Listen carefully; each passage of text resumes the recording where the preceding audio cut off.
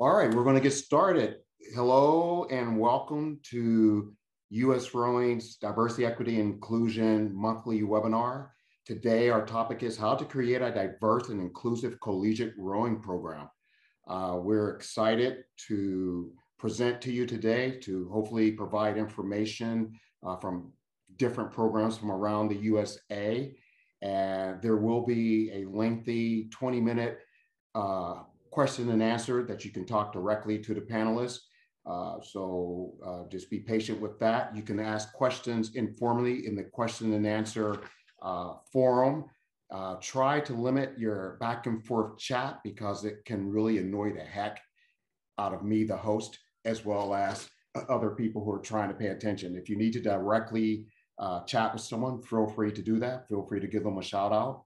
Uh, and so welcome and we're going to get started. My name is Richard Butler, and I am the co-chair of the Diversity, Equity, and Inclusion uh, Committee for U.S. Rowing. I'm a, the former inclusion manager for U.S. Rowing, and I will pre-tell you that everything that comes out of my mouth today is Richard Butler's opinion, not U.S. Rowing's perspective or opinion. And so I'd like to begin by introducing the panelists who agreed to be here today. Uh, they, like you, are, are world changers and I'm just excited to hear what they have to say today. And so I'm going to start with how my uh, gallery is set up. So Carol, you're on my left-hand side, so you're first. And just introduce yourself. Uh, where do you row? Where do you coach? And uh, I'd like for you to answer this question. What is the essence of rowing? And for the audience, guess what? You get to respond to that exact same question in the chat. So what is the essence of rowing? Three, two, one. Go in the chat and Carol, you're on. My name is Carol Schonecker. I am the head rowing coach at Robert Morris University. So I'm entering my second season as the head coach, and this will be my sixth year coaching at Robert Morris. Before that, I spent some time at Duquesne University and took a break in between to be an elementary school teacher. So I I also coach at Three Rivers Rowing, and I'm on the board there and coach masters athletes. So you're going to get a lot of Pittsburgh representing today. So get excited for that. Um, the essence of rowing for me is liberation. Yeah, essence should be really small, right? So that's perfect. Thank you, Carl. I'm gonna go all the way to my right with Katie. Hello, everyone. Uh, my name is Katie Silla. I rowed for the University of San Diego for five years. Um, I'm originally from San Francisco, so I rowed at Pacific Rowing Club there for three years, came to USD, uh, did a fifth year because of COVID, and now I'm still involved helping out the team. Um, I'm currently getting my master's at University of San Diego, so I just haven't left. It's too good to leave. Um, and for me, the essence of rowing, that's a hard one. Honestly, if I think about it, I think rowing is very similar to life. I feel like it's I feel like rowing is very complicated and can be overcomplicated very easily, but in reality, it's a very simple thing that just takes hard work. And I feel like that applies to a lot of um, life lessons as well. Um, so I think what I get out of life is also what I get out of rowing. So that's the essence for me. That's actually beautiful. Thank you for that. Um, I'm still waiting for our participants to put in the chat what they think the essence of rowing is for them. So I'm moving over to my left again, and we have Dave. Hey everyone, my name is Dave Cormier. I am going into my third year as an assistant coach and the recruiting coordinator uh, for the University of San Diego. Um, I've been involved in the sport for about, say, 13 years now. I started off as a uh, walk-on at the University of Massachusetts Lowell. Um, for me, I would say the essence of rowing is clarity, meaning that, you know, when I first came into the sport and still true to this day, my job is very clear. Um, that's make my boat go faster than that boat. And I love it. Thank you for that, Dave. Kaylin, right in the middle on my screen. Hi, I'm Kaylin. I started rowing my freshman year of college at CMU. So I've been rowing for about four years now. I just graduated, so I'm kind of just like hopping around, like helping around Three Rivers, and I'm hoping to help coach CMU next year. The essence of rowing for me, I would say, is unity in the team because like I since day one, the team has been what's kept me in the sport and like pulling for your teammates and just moving with your team. So that's what it is for me. Yes, thank you for that, Kaylin. Hugh, to my right. Hi, my name is Hugh Chun. Uh, I just graduated from CMU uh, this past May with Kaylin. Um, I've also been rowing for about four years. I started right when I um, came in for undergrad. Uh, I'm no longer rowing on a team, but I'm helping out with CMU as well as um, starting up our program uh, with Three Rivers there. Um, and for the essence of rowing for me, um, I would say is definitely community, both on the water and off the water. Um, there's a distinct and strong sense of community with both your team, your boat, um, just in every aspect of rowing. Thank you, Hugh. And the superstar, Amalia. Hello, my name is Amalia Rosa. I currently am in my senior year at Robert Morris University. Uh, I've been I'm on the women's rowing team. Previously, I rowed at the nonprofit Philadelphia City Rowing in high school, and I'd say that the essence of rowing is very giving. Um, I remember my novice coach told me like whatever you give um, to the sport, you get in return, and I still believe that to be true to this day. Yes, thank you for that, Amalia. And in the chat, we have things like team is the essence, the swing is the essence, boats is the essence, teamwork and empowerment. Keep them coming. And for me, the essence of rowing is that there are no heroes in rowing. And we get to conquer and control the balance and the power of a boat.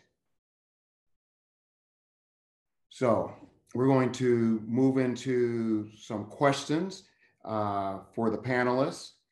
And uh, the very first question goes to USD. And Dave, I'm looking at you. Uh, for all of the times that I text coaches and programs around the country, who does a really good job of recruiting uh, for inclusivity besides Temple and some of the other universities? San Diego almost always, University of San Diego almost always come to the top of that. Uh, matter of fact, when I had my, when I was doing my tenure with US Rowing and I was at the um, San Diego Crew Classic, I can remember stopping the coach in the rowers like, who the hell are you? It, it was just such a, just very inclusive, look like America, uh, a rowing program. So uh, I'll give you the whole 45 minutes if you want, but tell us about your program. Uh, and you, can you give us a, a, an example of your recruiting strategy that doesn't have other rowing coaches steal from you? So whatever you can share strategy wise. Yeah, we're good. I'm, I'm not afraid of anybody stealing stealing anything from us. You know, I think um, if we can all work together to make you know to make this a more inclusive sport, then everybody wins. Um, I'll say first off, I think a lot of our success is I can attribute to our, our student athletes, like first and foremost. I mean, they are a, a really, really fantastic, unique group of individuals. And I think a lot of our efforts towards um, diversity, equity, inclusion, you know, we do them because they are the right thing to do. It makes our team better and faster. And a lot of it is, is being driven by the student athletes themselves. I mean, I try not to fan out about them too much when I'm about them, but um, I really am their their biggest fan. I think when when you hear Katie speak, you'll uh, you will all become fans as well. Um, but I think we we've kind of come at it with from two angles, right? We look at what makes our team attractive to a diverse group of individuals, and how do we go out and find those individuals? Those are the two challenges we look at. Um, and for us, the premise has been just really, really simple of when you come to our team, we want you to be your true self. On our program, you will never hear us talk about what a USD rower looks like, what they sound like, how they act, um, because a USD rower looks and acts and sounds exactly like what our rowers look and act and sound like. Um, so when we're recruiting people, we're asking them to come to our team to bring themselves to our team and build upon the culture that we already have. we're not asking people to come in here and fit into this this mold that we've created um, you know in the sport of rowing where the traditional sense of what a rower is is based off of a very very narrow group of individuals typically straight white upper class uh, uh, individuals. So you know we have expectations on the team of always being a good teammate always being respectful always being accepting of, of one another and always always working hard always working towards our team goals. Um, but within that, you be who you are, whether that's, you know, that's a sister, whether it is an artist, um, if you are Black, if you are white, if you are Asian, any of those things that you establish as your identifiers, bring that to our program.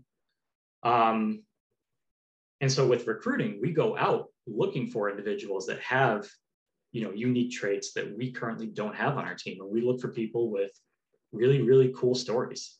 Um, and so we're not looking for a square peg to go into a square hole. We're looking for a peg that's a shape that we don't, we've never even seen before. Um, this is a this is a brand new shape to us. Um, and of course, you know, we are looking, we're a division one institution, so we are looking for people who can do all that and be fast at the same time. Um, and you know, I, I, I can go on all day about this, but just to um, give you an example, we have uh, an incoming freshman. She she's moving in next week um, who's a fantastic coxswain. Um, and we learned in the recruiting process that she was born in China and was separated from birth um, from her twin sister. And she moved to Sacramento, and her twin sister was adopted to a small fish, uh, fishing village in Norway. And there's actually a documentary about her. If you want to look it up, it's called Twin Sisters. Um, and when we found when we found that out, we said, "Hey, I can guarantee you there's nobody on our team who has a twin sister that they were separated from who's on the other side of the world who speaks a completely different language. That's a cool story. That's the person who we want on our team. Um, and there's tons. We have another girl who, at the age of 14, wanted to row.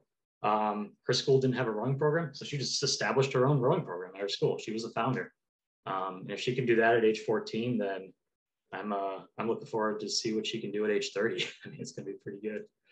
Um, and you know, along the way, we've had a ton of a ton of help. I think uh, Arshay is a is a fantastic um, you know advocate of our program. He helps definitely get the word out. Um, and and webinars like this are great. Great, thank you for that, Dave. A uh, couple of things that I heard: intentionality. So when we are in the space of diversity, equity, and inclusion, we need to be intentional. The other thing that I heard that you're not looking for a cultural fit, you're looking for a cultural add.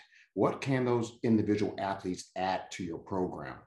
Third, thirdly, what I'm hearing is that you was very clear that creating a more inclusive rowing program doesn't mean you're creating a slower rowing program.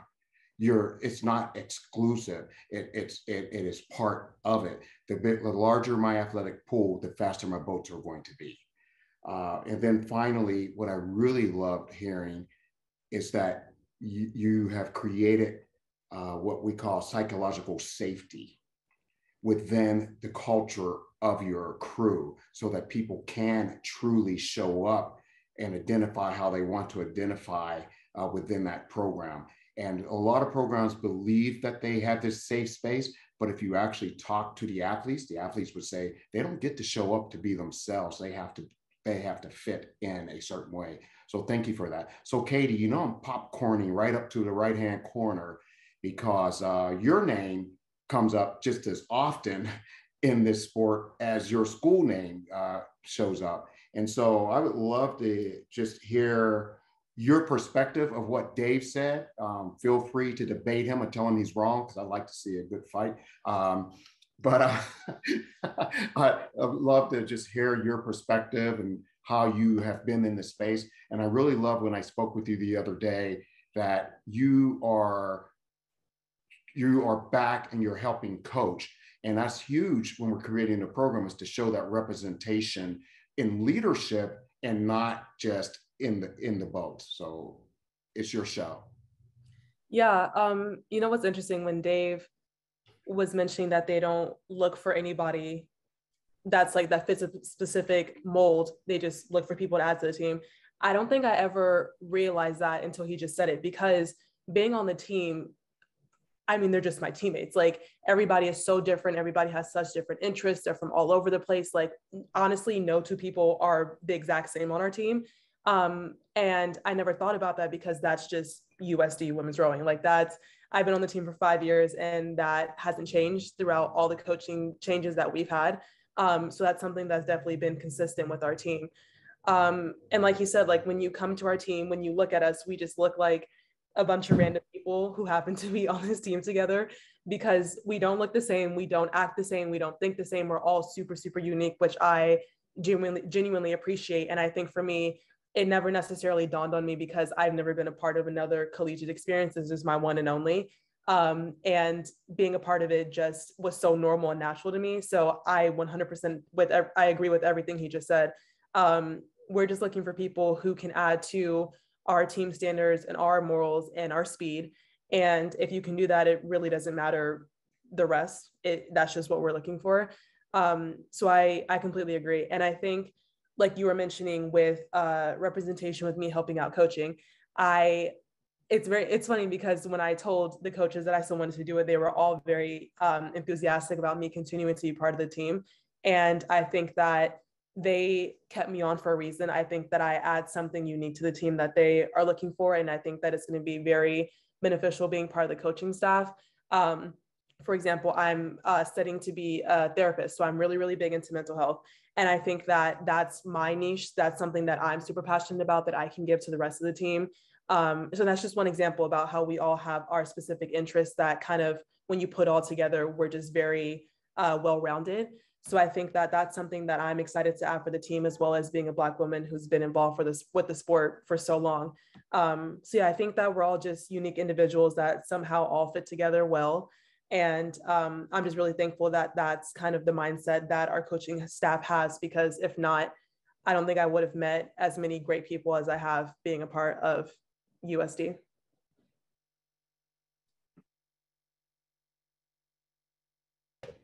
I know y'all like it when I'm on mute, but I'm now off mute. Uh, thank you for that, Katie. I appreciate that you're just learning about the intentionality of this cultural add as well, which makes it even more authentic, right? And so the sincerity is that you didn't know that was happening on purpose. And so that's how authentic the program actually is. Um, one quick question for you. Um, how did you, did, were you recruited for uh, USD? Yeah, so um, started talking to coaches my senior year of high school didn't actually want to come to USD. It wasn't my I just I just wasn't really interested in the program. And then I came on an official and I was like, oh, this is this is where I should be. Um, the entire coaching staff was completely different. Not one coach from my freshman year is here now. Um, but I think that what's really interesting with that is throughout the coaching staff changes, our intentionality has stayed consistent. Um, and I think, like you said, like I, I'm like genuinely did not know that that was kind of the way that our coaches recruiting because I was just an athlete who just got new team members every year. Like I didn't know how they got there. I just they just came and it was it was what it was. Um, but hearing Dave say that and the fact that he's been such a great recruiter, I'm like, oh, that makes a lot more sense. Why, like hearing from the coach's perspective, like that makes a lot more sense how things happened and how they ended up to be what they are. Um, so yeah, 100% authentic. Did not know that that was part of it, but it makes a lot more sense hearing it now. Thank you for that. So we have a, a just a response in the question and answer. Recruiting is only a small piece. I think having people feel safe and comfortable once they are there is even more important. How do you create a culture where everyone feels safe, welcome, included as their true self? How do you shift its culture if the culture isn't there yet, or even worse, it's toxic in some way?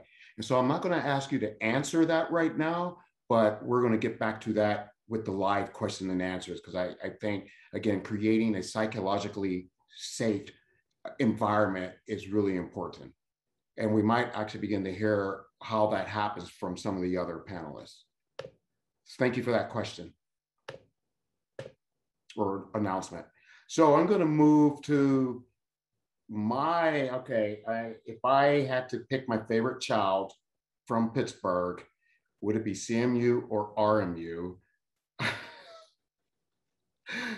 Um, since I'm a part-time professor at Robert Morris, I want to keep a job. I'll just say RMU for, for that reason, for job security reasons.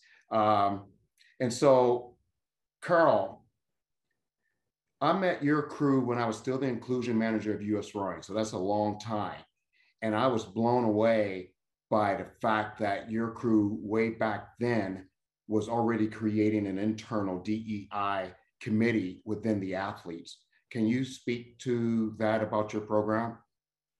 I think we have an interesting setup and it has changed and will probably continue to change as we reevaluate what works and what doesn't work because we all know this is a lifelong process.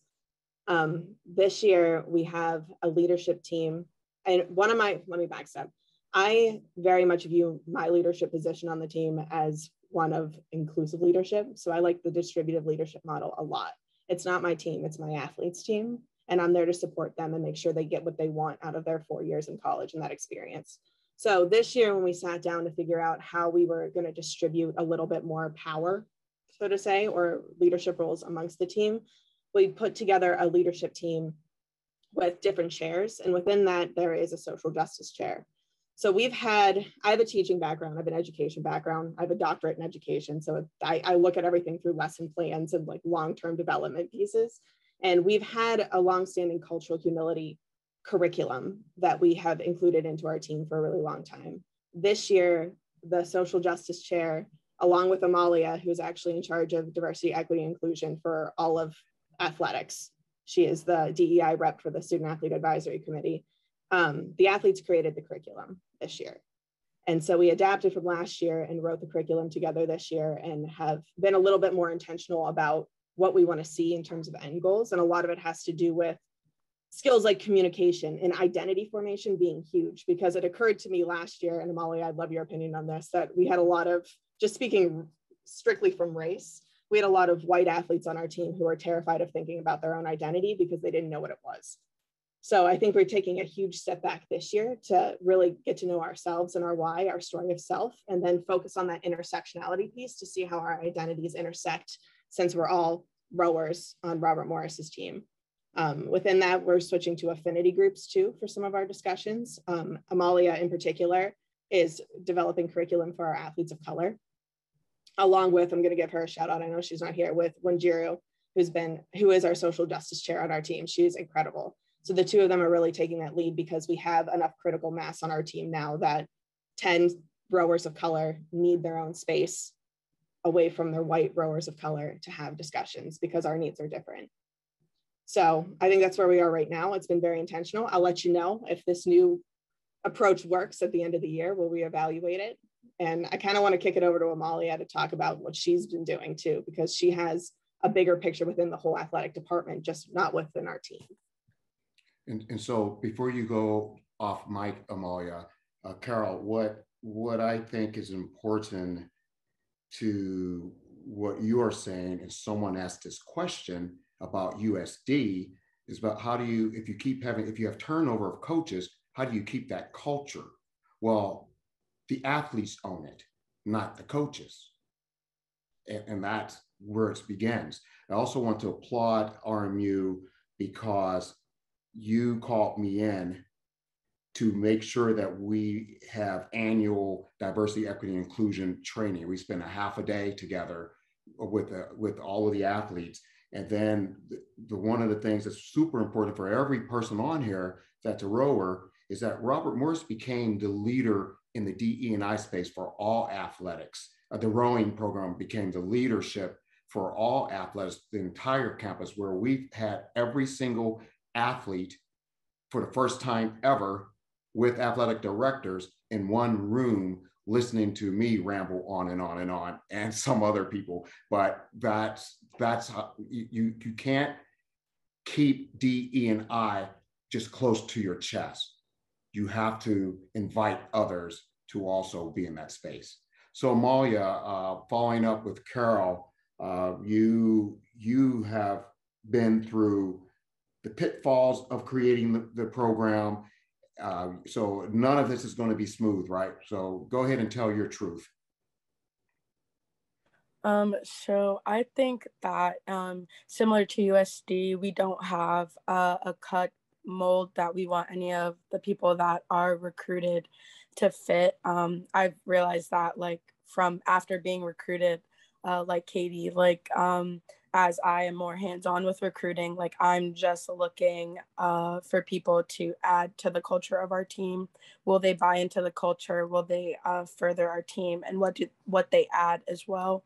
Um, however, I feel as though we're still working on that. We're like fitting as a puzzle piece, and so uh, what I encourage the women of color on my team to do is take up the space that we were told that we're not supposed to take up.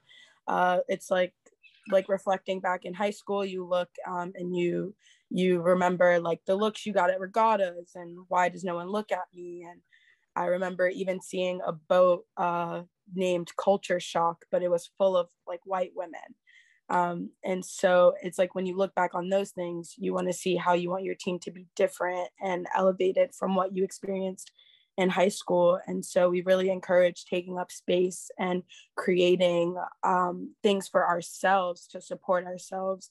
And so it's very, um, it's become a family at this point that we bring others into our team into to learn more about us and better understand us so we can have a better community on our team. Thank you for that, Amalia. Um, so I'm gonna move on to Carnegie Mellon University. I think Kaylin, you're going to be the first person. Um, so I adopted your program. Um, I was born into RMU's program, but I adopted CMU's uh, program because they, when the DEI committee for US rowing was formed, they watched the webinar and they realized that with self-reflection, that they could do better in the space of being anti-racist. And so we got together and we talked and they formed uh, uh, uh, their own DEI committee. Uh, I think the committee was already in action, but we even went through uh, anti-racism training as, as an entire program, which is, as, as I tell to all of the participants, make sure that before you invite people that are different than you into your home, that you are prepared to have people that are different than you in your home. And so, Kaylin, tell uh, us about how you are using rowing to actually connect to the communities in the city of Pittsburgh uh, that traditionally would never even look at CMU as a college. Yeah, so uh, uh, first, like off your point, like fixing your culture before you can recruit. There's like a couple things. A lot of people are talking about recruitment, but CMU is just like a club team. We don't recruit very much, but we recruit within our own campus space. We don't just don't go off campus to recruit. So like thinking about increasing our diversity, like looking at our campus, if we see that our campus isn't very diverse when you look at it. So we needed to look like outside of our campus in order to try to increase the diversity and while we're working on making our culture better within our team. So we've in conversation with Richard and hearing a lot of the webinars US Rowing was having, uh, we realized we needed to, the best way to increase, uh, open up the Pittsburgh community and CMU's campus as a whole, not just rowing, uh, is to reach out to the Pittsburgh community. And so we started trying to form an outreach program that stemmed from CMU's rowing team and kind of expanded to like the campus as a whole. So Richard is like a huge influencer in us getting this up and running, but he told us about a program out of MIT called Amphibious Achievements, which combines rowing, swimming, academics, and mentorship into one program, which we thought for CMU would be like a perfect fit because I mean, we love rowing. The whole starting point of this was the rowing. And the more you learn about why rowing is a barrier, the swim and swim comfortability is like up there.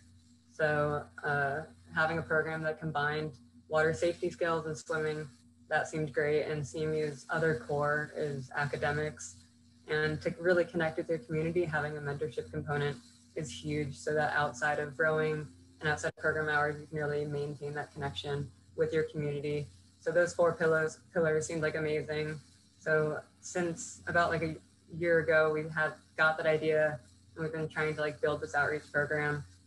Um, and pretty much the building of the outreach program was like a lot of communicating with partners within the Pittsburgh community, talking to Richard, talking to community centers, talking to Three Rivers Rowing Association, which is big boathouse that we row out of in Pittsburgh. And uh, yeah, it's still in development right now. We the most recent update with our program is that we're partnering with Three Rivers and their outreach program, so we can really bring the Pittsburgh community together. So, yeah, I think that's uh, the biggest thing that we're doing to really connect CMU's rowing team with the Pittsburgh community. Yeah, thank you for that, Kaylin. So Carnegie Mellon University had a, a, had a really they stepped in it in so many ways with the community of Pittsburgh, and and the, and so the Carnegie Mellon's Club Rowing decided that we're going to help our university actually connect with the city of Pittsburgh and in those communities that are traditionally not part of rowing programs. And um, that takes a lot of soul searching as well. Um, and I, I, think the, the reason why I wanted uh, our CMU on here is because sometimes rowing programs say, well, I our campus is just not we don't we don't have that much diversity on our campus, but I bet you have that in your community. And so maybe you don't have a rowing program, uh, maybe you're not able to recruit, and, and I, uh, uh, I can say a lot about that. Maybe you do have a challenge with recruiting athletes that may be different than you, but maybe you just partner with the community and use your resources to be that anti-racist, to do that social uh, injustice. And that's how uh, CMU is approaching this. They're not looking to create the world's fastest rowers. They're looking to connect uh, community members to the sport of rowing who normally would not be connected to the sport of rowing. Hugh, do you want to uh, piggyback on what Kaylin said? Yeah, um, to to build on Kaylin and what you were talking about, Richard, I think um, this is also something that like at, in the CMU community we've seen generally, even with like our club sports program, is just like a general almost apathy towards like trying to connect our like CMU programs with the community. And like we really felt like as a as like a rowing team that like we had the resources and the opportunity to really reach out and like develop our community and also like um, uh, within within our our own team at least um, expand this opportunity so that we can create a more a diverse rowing community at least in Pittsburgh. Um, and so with this development um, and talking with uh, uh, community centers and community leaders, um, I feel at least um, program building wise, we've we've come quite a bit and we're almost ready um, to get going. Um, but still internally uh, with our team and at least within our school, um, we're still working really hard in trying to make sure that we are we are practicing anti-racism and like really trying to make sure that at the very least our team members within the CMU rowing club um, becomes that um, active member in the community in expanding this opportunity uh, to Pittsburgh.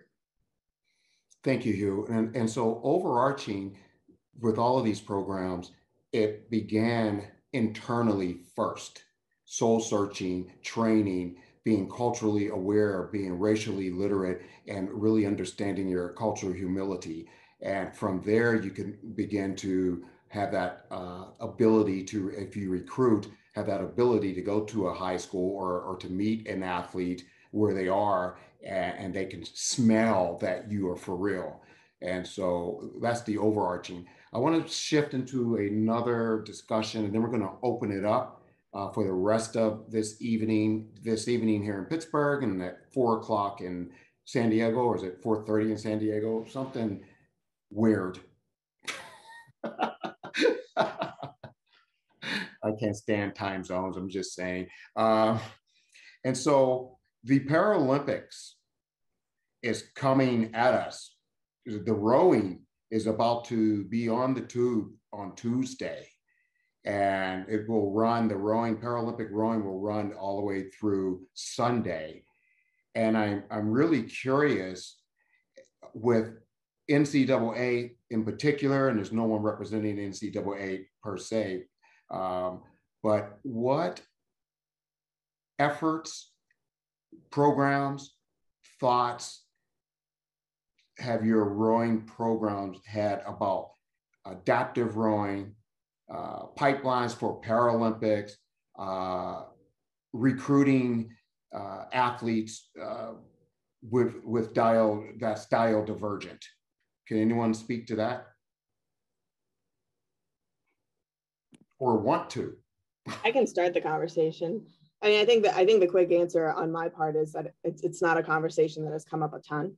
I mean, I don't. There are there are very if there are forgive my ignorance if there are races at the at the NCAA level that are you know para events or you know adaptive events i don't i don't necessarily see them so i don't think our inclination is to train for those specific events i think the most experience that we've or i've had coming from just again pulling the teacher card is you know learning how to reach a group of diverse learners which as you, you brought up before we started this richard like adhd being a huge thing anxiety you know the, all of those pieces that we take into account. So trauma informed coaching sessions have been really, really helpful, but also how do you alter a training program to make sure that everyone can stay, every, it is accessible to everyone. So I know US Rowing talks a lot about long-term athlete development. That means meeting athletes where they are, not only from like a physicality standpoint, but also if you have an athlete who has a trouble staying focused for a two hour long steady state piece, how are you going to split that up so that they can still get that workout in, but it's easier for them to stay engaged and actively engaged the entire time.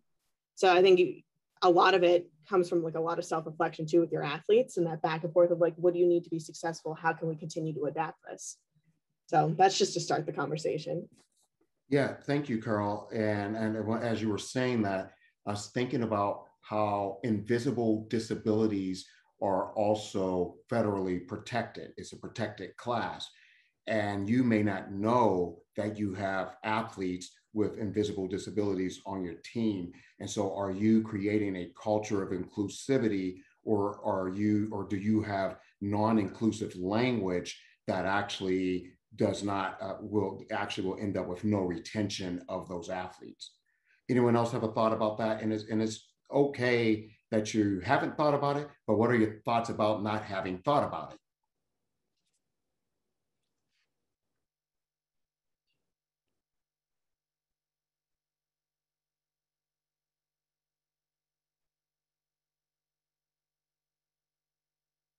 I mean, I can say a little bit.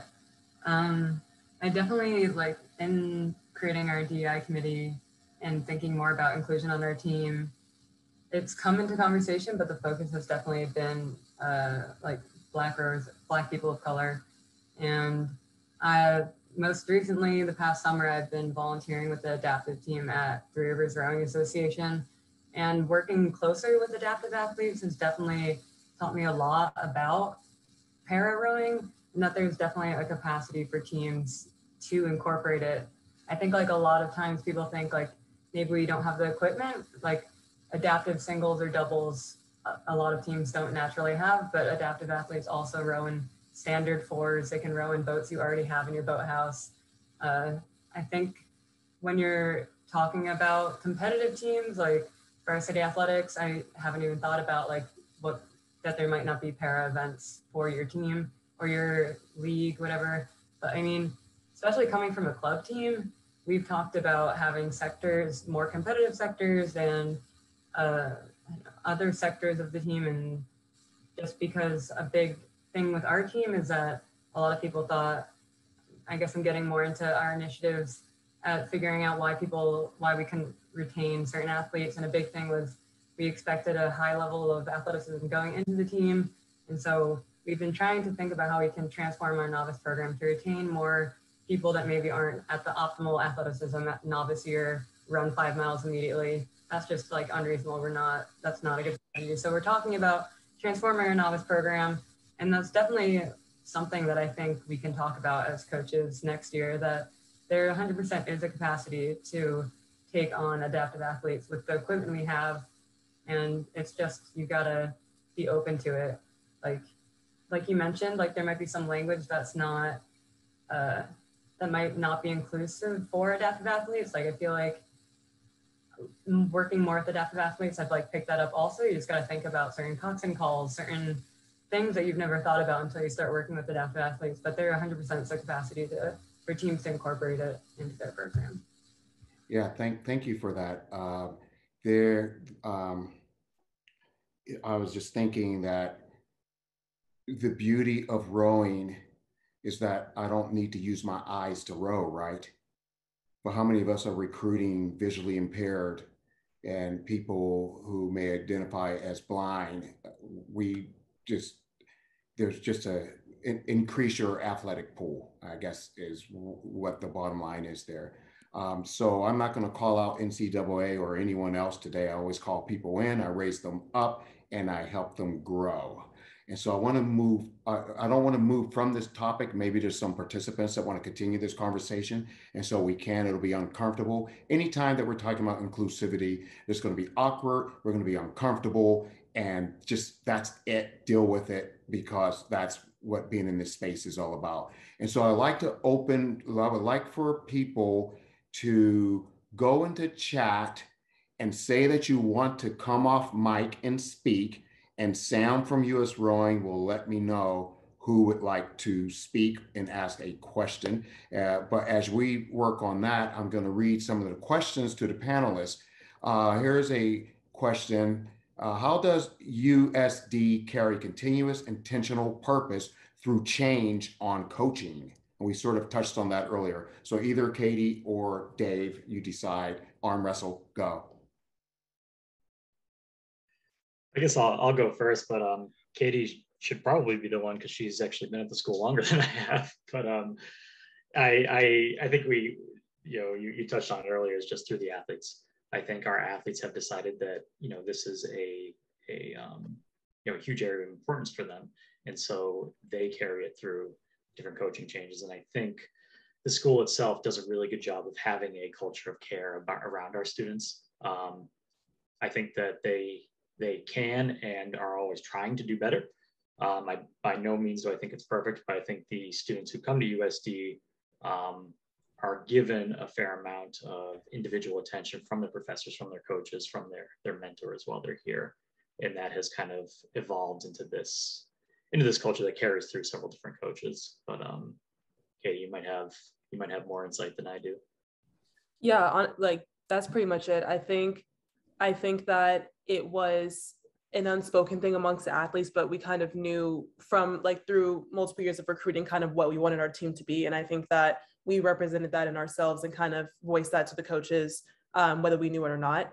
Um, so I think we definitely, I think we definitely carried it through. I mean, I went through three head coaches in my years at USD, and I think that just through us athletes, we created this dynamic, we created this team, we created this environment um, within ourselves. And I think that the coaches kind of um, understood that as they continue with our team. And I think they kind of picked up on that and then they reflected that with us. So I think it was just kind of the energy that we brought to the coaches whenever they did come through and then they picked up on it and continued that throughout their time coaching.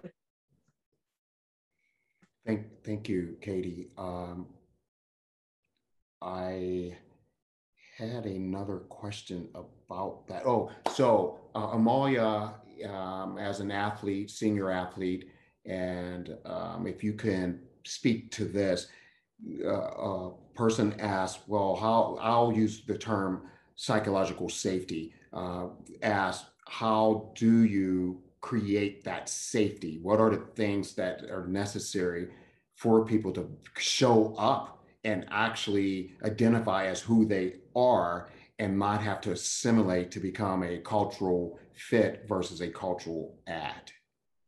Right. So I think a common thing that we can see in rowing now is that a lot of people want to recruit for diversity, but they don't provide um, the resources and really tend to those athletes of color. So at Robert Morris, um, like whenever I am recruiting or helping recruit a woman of color onto our team, I'm very like transparent about what campus culture is like, um, like my own personal um, and like other resources that they can have on campus. Also, using myself and other women of color on our team as resources. Um, like I said previously, we're now like this little family within our big family. Um, that's our team. And so it's really important to ensure and continuously follow up with those uh, athletes of color and ensuring that they are psychologically sound and that they have the resources they need and familiar uh, familiarity uh, so to speak it's very hard to be the only on your team. You talk about that a lot richard being the only person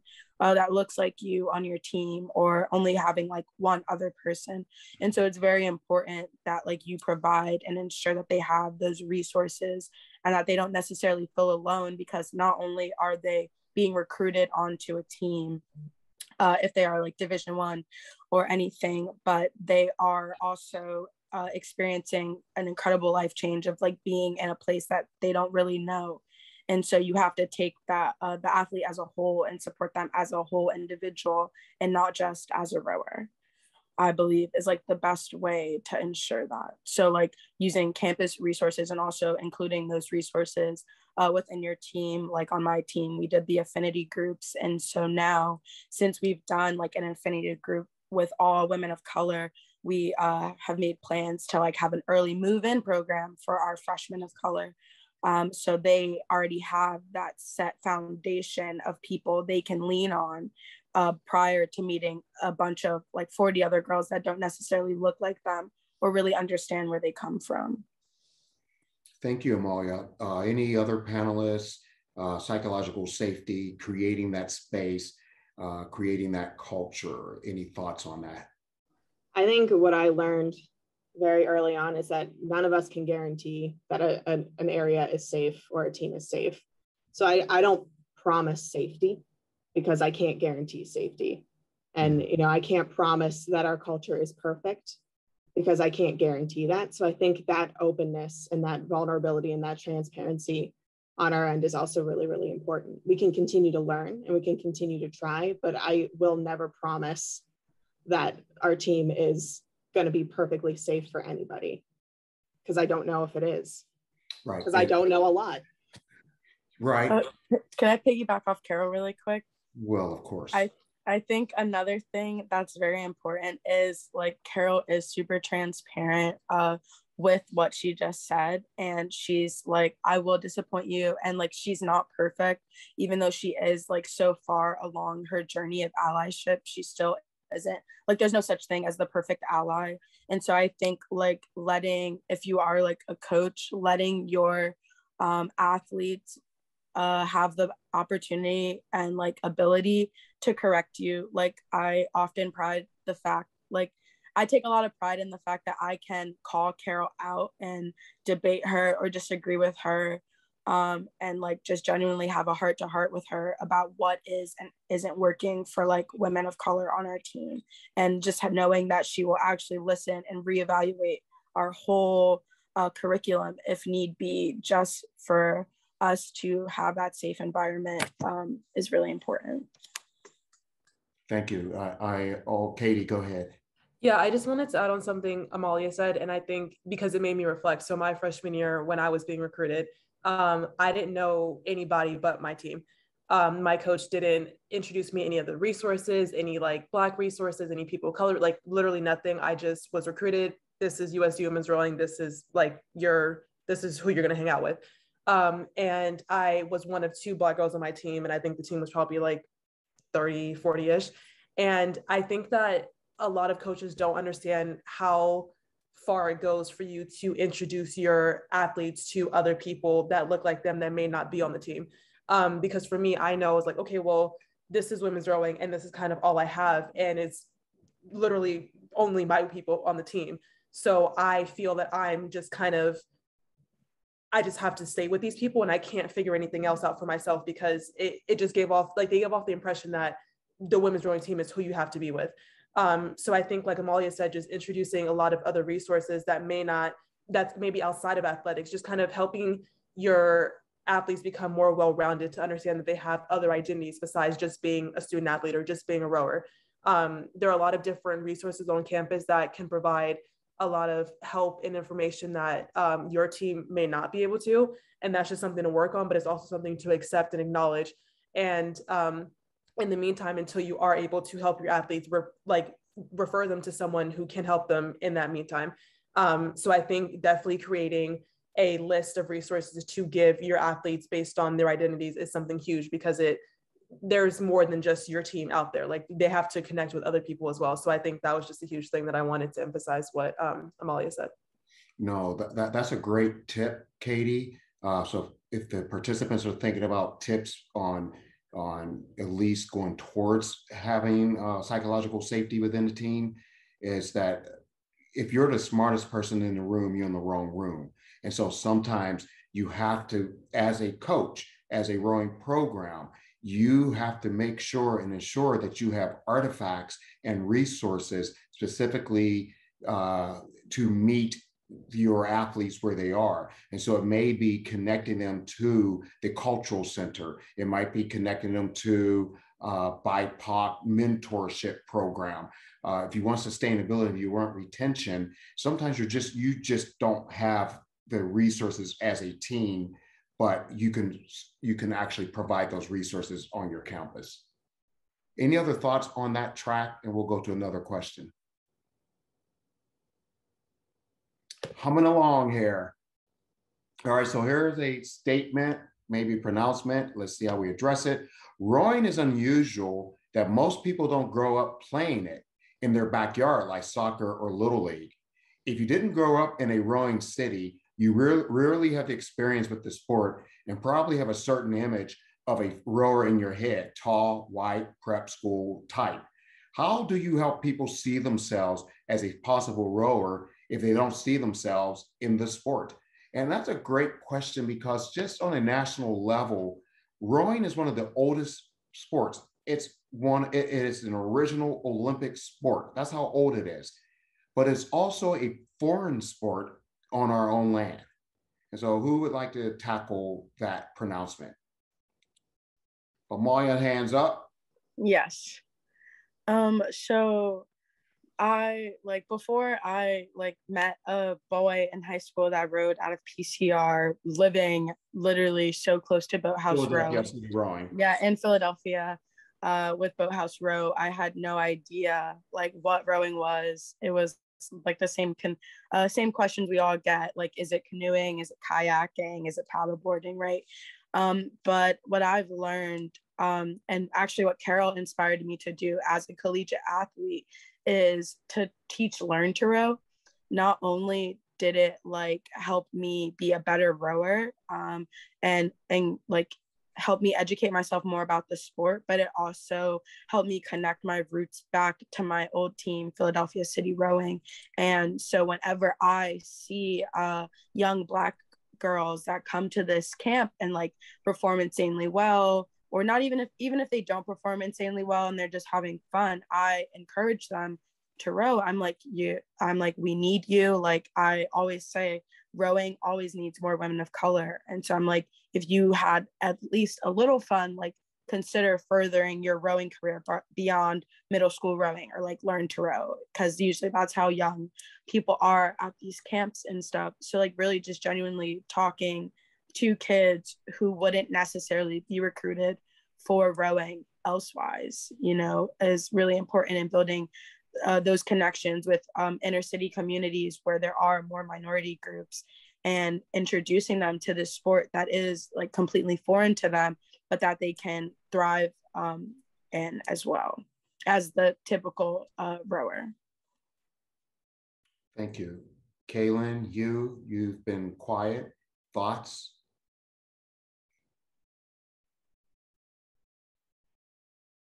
and so Kaylin, I can Go ahead, Carol. I was gonna I was gonna pull Kaylin and Hugh in. I was like, you talked a lot about you know being in the community.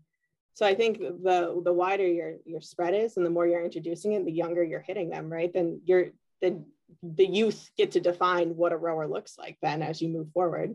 And I think that's why it's really cool this long term development piece. I mean, I think sometimes we miss out at the college level because you pull someone in for four years so you get them, which is fantastic. I love novice rowing. I love novice rowing. And I think it's it's easier now, like Amalia said too, like representation matters. So on our campus, when Amalia is out there with me recruiting novices on campus, their typical rower looks like Amalia. So then you have more and more that it looks it's it's an environment that automatically exudes that like I would fit in here. But if you start it earlier and it's not a foreign concept when they hit college, then the perception of what a rower looks like changes. Yeah, and that's a great, that's actually could, could go down, Carol, as yet another tip for recruiting. Uh, Dave, as a, as a recruiter, as the head recruiter, you know, to have Katie on recruitment calls and, for people that you may be recruiting that look like her, that's huge. Ha- having Amalia and Katie and and and and you and uh, you know who are you trying to recruit introduce them to representation.